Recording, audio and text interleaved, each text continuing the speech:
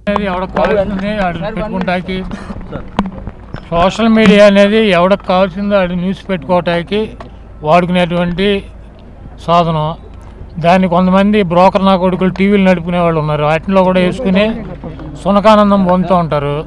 కాబట్టి అటువంటి పెద్ద పట్టించుకోవాల్సిన అవసరం లేదు. నాకు చిన్నప్పటి నుంచి ఇటువంటి కొత్త ఏమి కాదు. ఏదేమైనప్పటికీ ప్రతి వ్యక్తికి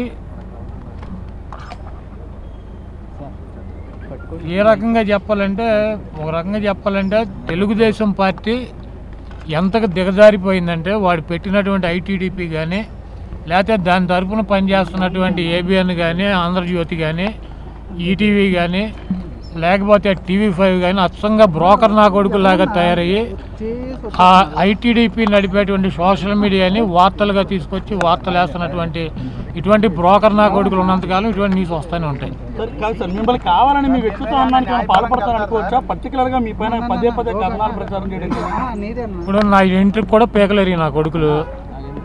చంద్రబాబు గారు అనేవాడు ఈ రాష్ట్రంలో రాజకీయాల్లోంచి చరం గీతం పాటి పంపించి ఆయన ఇంటికి పంపించేదాకా నేనైతే ఈ భూమి మీద నుంచి రాజకీయాల్లోంచి వెళ్ళను. వాడికి చాలాసార్లు చెప్పా దమ్ముంటే నువ్వు కానీ నీ కొడుకు కానీ గుడివాడ రండి రాని ఆ నా కొడుకులు ఇద్దరికి ఆ దమ్ము లేదు ఏమీ లేదు. ఇటువంటి ఐటీడీపీ అని పెట్టి ఇటువంటి బ్రోకర్ నా కొడుకుల్ని ఛానల్స్ని పెట్టుకుని ఇటువంటి పిచ్చి వార్తలు వేసుకుని సునకానందం పొందుతారు. పొందనివ్వండి నాకు ఊడేదే ఉంది అడిగి వచ్చేదే ఉంది. సార్ ఈ పవన్ కళ్యాణ్ వ్యాఖ్యలు ఎలా చూస్తారు సార్? వాలంటీర్ల పైన చేసినటువంటి వ్యాఖ్యలు ఎట్లా చూస్తారు ఇప్పుడు పవన్ కళ్యాణ్ కావచ్చు చంద్రబాబు కావచ్చు రాధాకృష్ణ రామోజీరావు బిఆర్ నాయుడు ఐదుగురికి మానసిక వైకల్య కేంద్రం కట్టి దాంట్లో జాయిన్ చేయమని మా ముఖ్యమంత్రి గారికి పదే పదే చెబుతున్నా.